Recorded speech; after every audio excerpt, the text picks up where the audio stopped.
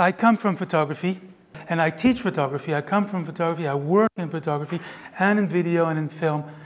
But one thing I always tell young people is you, you can't be a photographer and not make films. And there are almost no clients that will work with you, especially young people. Older ones who are very established, that's a different thing. So everything he said about continuous light is absolutely what I think as well. Now, working with young people, we have limited, we can't work with 20 lights. Sometimes it's one. And that is what I want to talk about today. I one time saw a student say to a photography teacher, you know, what do you think of this picture? And I, and I saw it, and there were shadows everywhere on the floor, and the, uh, and the photographer said, said to him, I think he had a hard time thinking of what to say because it was so bad. And he just said, There is only one sun. And he walked away. And I thought that was kind of, that was kind of funny. I, th I think the, the, the, student had a, a, lot to think about from that. And that was really about, uh, about uh, concentrating and, and, and learning that one source and then adding, and, and then adding the others. Now, I did my first music video about 25 years ago in Cuba, and I got that music video because the artist saw some pictures I did of a, of a singer in a magazine and wanted to look like that, and I had nothing to show. So I went to see a producer who set me up with a very good director of photography at the time whose showreel had the latest videos from U2, Madonna, Depeche Mode, all sorts of famous, uh, famous bands. So we got the job, we went there. On the way back, I asked him, how come you agreed to do this uh, video with me? It was, my, uh, it was my first one, and you've already done, you've already been doing the best. And he said, well, because the producer told me that uh, you come from photography, and I thought I might learn something from the way you direct me to do the light. And well, I, did, I learned something. I learned something from his answer to that question. And I also learned something on the last day. We were shooting the singer in one of those old Cuban cars on a street, and the sun went behind, went behind a building, and suddenly we were, we were in the shadow and we, we didn't have the shot. And I thought that was it. We had to cancel that. And the local gaffer started running around the street knocking on doors and they were running out with mirrors. And the guy runs out with a big mirror and he goes down the street where there was a bit of sun. And at the same time, another, another guy runs out with another mirror from people's houses who just, who just opened the door. And he grabs that other mirror. And so one stream of light goes down, hits the second mirror, gets streamed into the car, and suddenly that car gets filled up with light. And I discovered Lightstream before it existed, or maybe it had existed in somebody's head back then, but uh, it had changed the way that I, uh, it changed the way that I, that I, uh, I thought about light from, from that very moment. And I also learned that there is only one sun, but you can do a, a lot with it. Well, years later, I've been invited to be a teacher and give master classes two or three times a year at the École de Gobelins in Paris. And one of the things I always did was I, I mentioned this uh, little story of what happened in Cuba. Well, not right away, because then they would know what to do. But I would say to students, you have to do a three-point lighting, and you only have one light. And they'd be in a studio with a lot of equipment, and they would have to figure out how to put a front light, a back light, and a fill light from one source. And they were doing that with, uh, with uh, metal, uh, mirrors, um, scrims sometimes because the light was too strong coming from the back or the side. And they would get something, and it was never great. But last year, I was introduced to Lightstream. I brought it into the school. So now that subject of creating a three-point lighting with one light became too easy in a way, but we could push it and we could do a lot more things with it. So it was not only the three-point light from one light using reflectors, but also being able to make three different backgrounds, a white background, a gray background, and a black background, and still being able to model light on one person.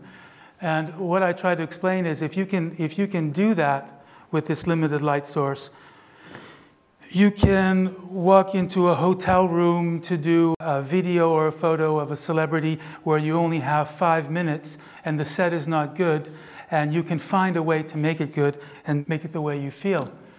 I really like this quote from Roger Deakins.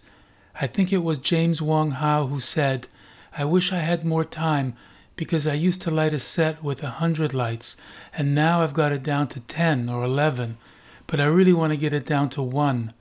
He was searching for simplicity. He was searching for something significant and pure. Well, that, that spoke a lot to me, and I wanted to share that with you because sometimes we add, we add, we add, but reducing, reducing, reducing can also add something. So, saving time and space. This is something that when I first introduced Lightstream, for example, to the École de Gobelins in Paris, I would get some people saying, well, you know, we don't, we don't have the time and the space to be able to figure out how to do all this with reflectors. And I thought, well, that's, that's crazy because if you need to light, put a soft light here and you only have this much space, and if you're going to do that with a traditional HMI, gonna, you, you need to go back, you need to put in, you need to put in a softbox or a reflector or a bounce, Whereas now all you have to do is put up a stand or clip something to hold it on, have a light from the bottom, and you can create that same light or a very similar light. So it's something that you know we'll have to we'll have to show. Education, I think, is a big part of this, and that really had come from the reason that I had done this first video 25 years ago in Cuba was the luck of a DP who thought he might learn something. I learned something, and now teaching what you can do with reflected light really made me see that education on something that is actually very simple to use, but complicated in people's minds when they don't try it. So, lightstream is a verb, that's something that I don't know if you noticed, but at the very beginning I said some local gaffer grabbed a, grabbed a mirror and streamed the light back to the car. Well, that's the way I, I like to speak about it because it makes me think about light like like water, like something that moves and it can be easily shaped. So, and that's a way that I, I explain it as well to students. We talk about streaming the light, or I talk about streaming the light, and they start talking about streaming the light. So that's why I think that even the name Lightstream is so, is so good and so helpful for understanding what the light can do. Now, here are just a, a few random pictures of how students set things up at the school. Uh, as you can see, a lot of the times they only have one light, but here, for example, uh, this student put one light as a top light, uh, one source as a top light. There's only one light. One is going to light the background directly behind her, and one is a, one is a fill light.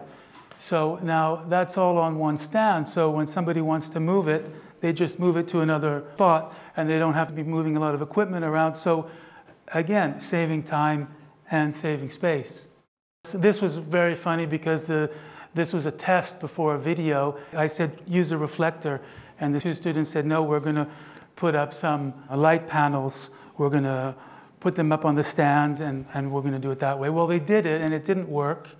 And after they spent about two hours setting that up, in 15 minutes they set this up and it was exactly what they wanted. These students wanted to do something with color, so they gelled the lights. But then I, again after, which I, I, didn't have time to, I didn't manage to get a photograph of it, but they gelled the reflectors instead of gelling the lights uh, which I thought was kind of interesting, and they got a very similar, if not same, result. I took the lights back to studio to do a little video over the weekend because I wanted to show some of the other teachers in the school what we could do with under 100 watts.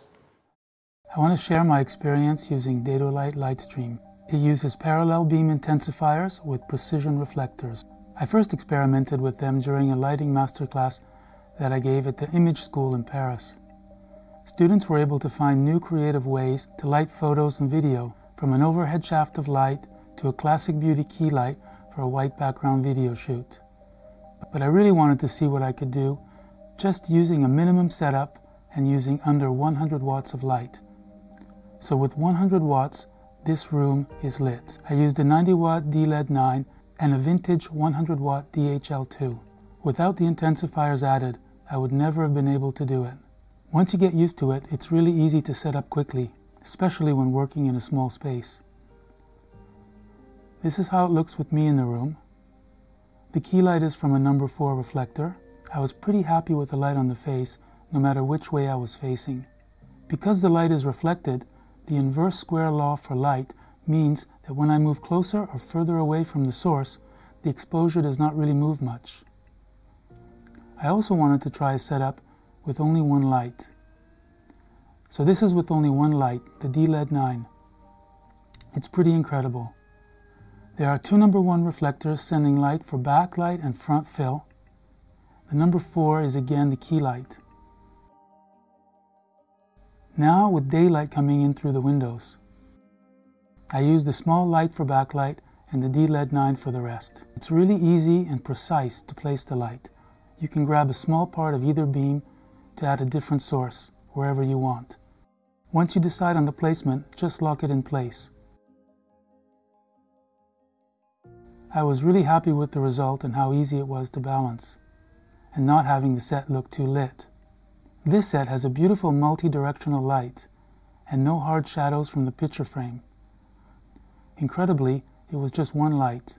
I can't imagine how many scrims and flags I would need if I didn't use the Lightstream reflectors and the parallel beam intensifier.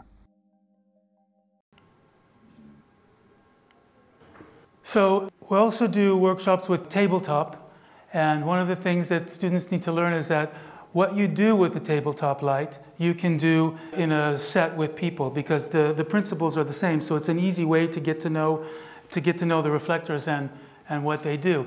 So let's have a look at this. The goal is to do a professional product photography shot with just one light. So you can see here the number one streams light to, to a mirror on the other side, a reflector on the other side. That number five puts a nice light strip across the top. The number three in the back, the big one, is creating a nice back glow. The projector attachment is an extra thing, but I just really love it. I love to be able to bring up, for example, the light on that little cross. I could do it in post-production, but it's so much nicer to do it for real on set. These are the final shots. It's important to be able to take photos and videos with the same light. So this is being lit with only one light. In beam is going into a 25 by 25 number 4 for a smooth gradient in the back. Um, here a number 1 is streaming light into a reflector in the back. And the number 5 is creating that nice strip of light on the front of the bottle. This small number 1 reflector streams to the number 2 down below, which lights the front. This number 5 reflector creates a strip of light that goes on the back there to create the backlight of the bottle. This number 4 creates an edge light on the side of the bottle. This number 2 is to make a wider stream on the number 4 here to create that edge light on this side of the bottle.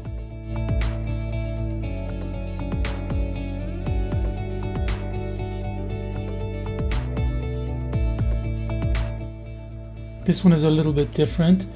Basically the difference is the, the front light comes from a larger number 1 reflector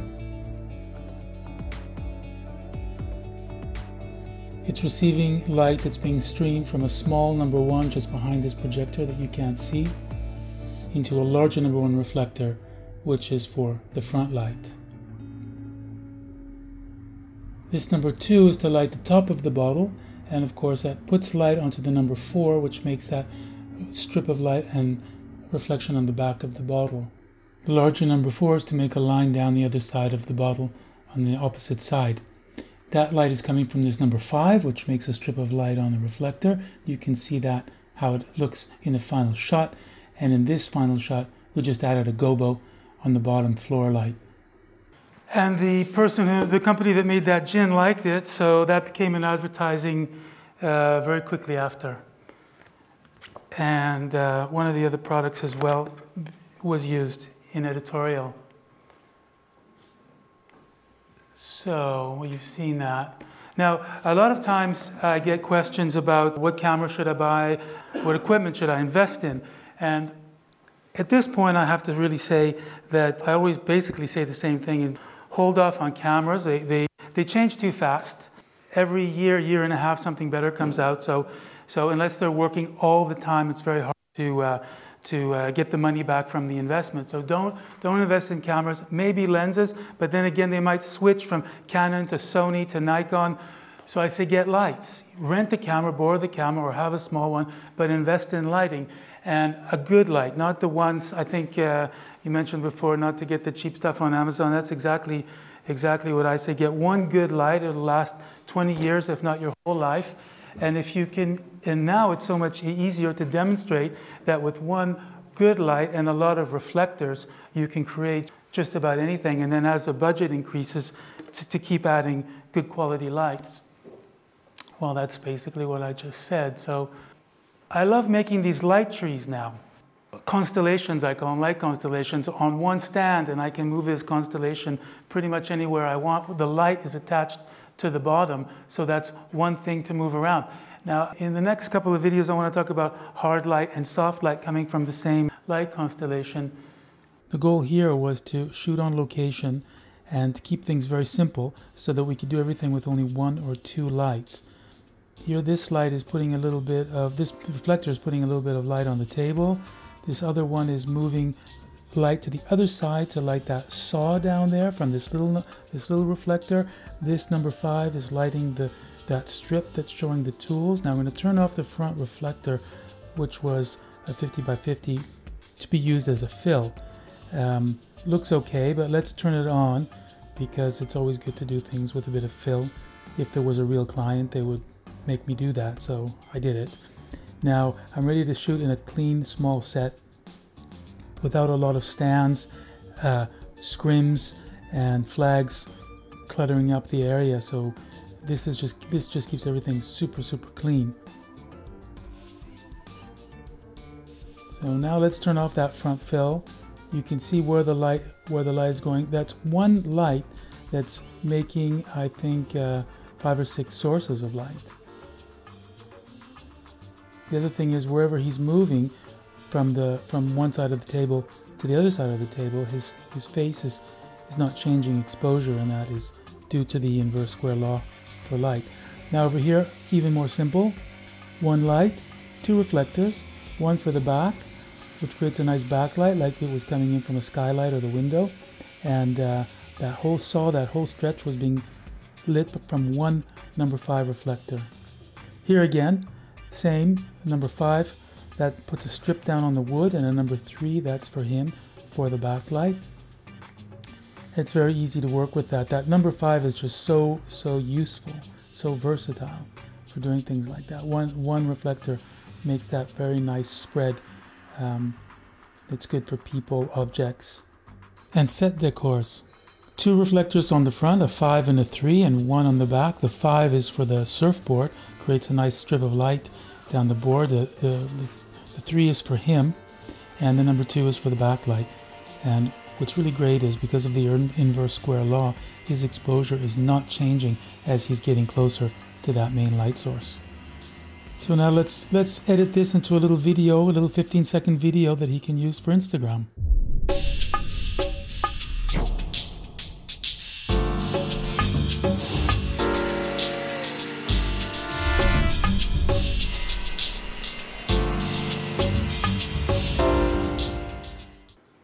So I was in that place at nine o'clock in the morning, and I was out in the packed up in the car at 12. So that was very, very quick. I mean, it's kind of incredible how many different sources of light you can get from one projector. The front fill had the light set to flood. It didn't have an intensifier on it.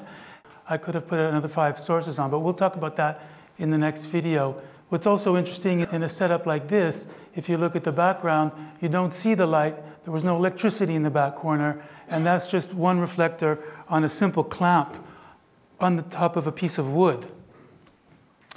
So now, the reason I said that that light was on flood, on this number four reflector, which was the key light, which, which you're going to see, I wanted that to, to be very soft, a very soft source.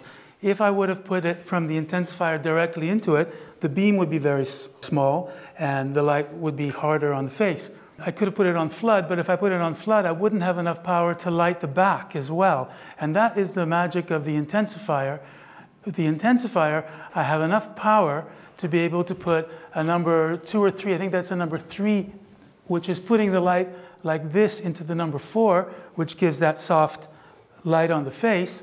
But still, I could grab a little piece of it, send it to the back where I think there was a two or a three to create backlight on the hair. Uh, it was also enough to take another reflector and send it for details on clothing or accessories. And that is the beauty of this system, is that when you use the intensifier, you think, okay, I'm not limited to this because I can grab a reflector and make this and I still have enough power, more than if I would have just used the flood to do many other things. Let's have a look at this. I wanted to create a very nice light now we're in the studio. I'm using just the number 4, 50 by 50 reflector as the main key light. Makes a really soft, beautiful light on the, on the face. The light that's coming into it is coming from a number 3, 25 by 25. That makes sure that the light touching the number 4 reflector is wide enough to create that soft beam. We're adding another light just for that strip in the back that's coming from the number 5, which makes those beautiful long lines, and a bit of side light on the face. Now let's put down this unrolling some diffusion just to, just to see how that softens the shadows. It's not bad. Personally, I, I like it a little bit harder, but it's nice to know that we have this tool if we need it. Everywhere he moves his face, we're getting a nice light. So I take it away because uh, well, I like it better without. And we can add these little we can add these little small reflectors uh, this is a number two, and I can I can use that just to bring out highlights either on the face or maybe there's an object in the scene, uh, part of the clothing. It's really nice to be able to enhance details. Obviously, we don't really need it in this in this setup, so uh, I'll just take it out. It's, I really like the light just coming from one reflector, so I'm going to turn off that backlight. And what's great is having the light and the reflector on the same stand, I can just move it around and see right away what I'm getting. Now let's do it with somebody sitting down. We have the same light. We can adjust the back just to get the hair light exactly where we want it, or maybe we want it on the shoulder, higher, lower. It's super easy to do that just by moving a little, uh, one little reflector. Wherever she moves her head, now right to the left, the light is soft enough and directional enough that it creates flattering shadows that are, that are not too hard. Now we'll turn that backlight on again so we have that, that nice line from the number 5 and from the same source a little bit of light coming onto the side of her hair which makes a nice little V to frame her face. You know, of course, this is broadside lighting. If you wanted to have short lighting where the shadow on the face is in the front, you just move the whole light tree to the other side. I'm going to take away that backlight so that I can be more flexible and um, move the light to the side, move it to wherever I want. On the side, I'm having more shadow. I can do something that's a little bit more moody, but it looks really nice still. And then again, like the other, I can just move that whole stand see what I'm getting. Now I want to try it with some diffusion again, like I did the last time. Similar results. The shadows are lessened. Um, it's very flattering as well, but I, I prefer the other light. I prefer the light that's a little bit stronger, but a lot of people will prefer this. So it's nice to know that you can do it and you can do it so quickly as well. I love just keeping things rolled up on the on the top. This is a super fast, easy, beautiful light that does not take a lot of space. And as you can see, you can shoot photos at the same time, and uh, it's very, very flexible. So I had a photo shoot to do. You were talking about Flash on the beach. The inspiration for the shoot was the movie Swept Away by Lina Wertmuller. And we looked at these and thought, okay, easy to do with Flash, easy and, and not. If it, was, if it was for video, we would have to bring either a generator or a battery projector probably something like a, a 1K with a diffusion, slight diffusion on it, but instead we used one number four reflector. And what's great is you can see that the reflector not only makes the light on the subject, but creates a shadow so the light doesn't come into the lens.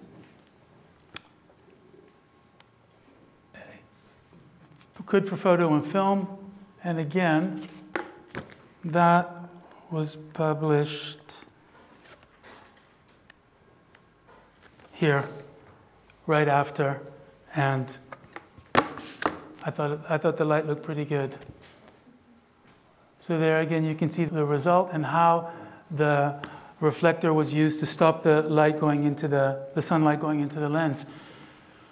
So just my final thoughts are that what really makes this, this work is, is using the, the, the intensifiers. I know before, you know, we, we speak a lot about, about the reflectors, but without the intensifiers on, it's, it's like, it's limiting it to, you know, it's like having a, a supercar that's uh, being used, uh, that's not firing all, on all cylinders. It still looks good, but it goes a lot faster when you, when you put this intensifier on because now you, I don't know if you, I, we say triple, quadruple the, uh, the lighting output, but it's much more than that. It's, it's being able to put it in many different places.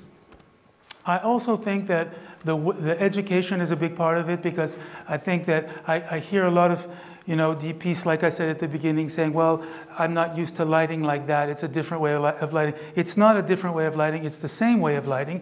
It's different tools, and it's not, and it's not, uh, it just needs to be tried once.